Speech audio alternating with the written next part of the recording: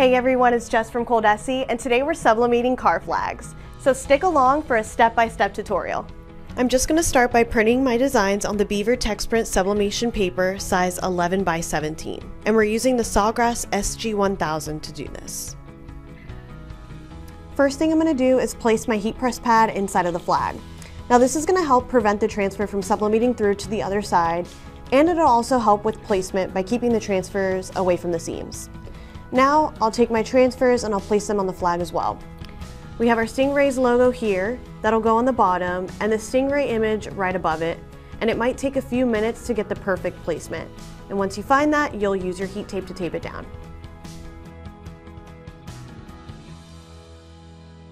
So I'm moving on over to my heat press. I have it set for 400 degrees at 40 seconds.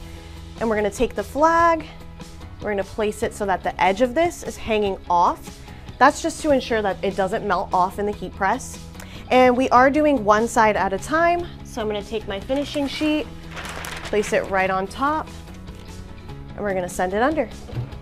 So I'm gonna remove this from my heat press, and it is really hot, so I'm just gonna let it cool off on the side.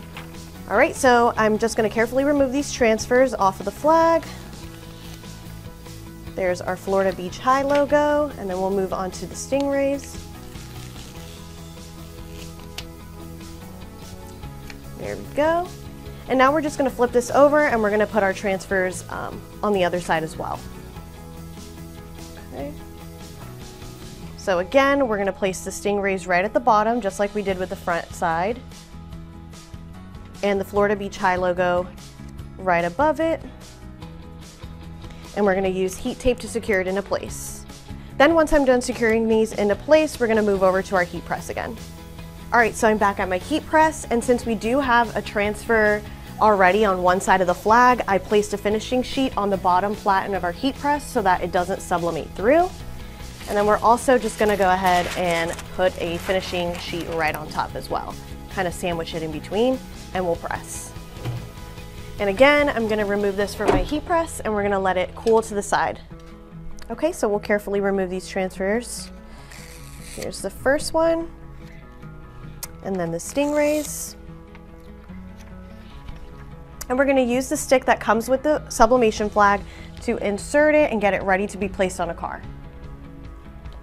And as you can see, these barbed edges are really gonna help the flag stay in place.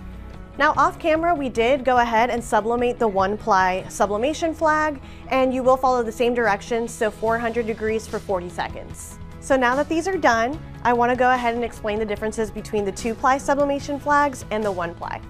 Now the two ply is gonna be really high quality and it's gonna last you longer, and it also gives you the opportunity to sublimate on both sides.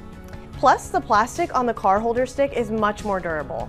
Now the one ply flag only allows you to sublimate on one side because the material is so thin, but it's a really great value option, especially for things like giveaways. So if you wanna find any of these products that we used today in this video, visit ColmanandCompany.com. Thanks for watching.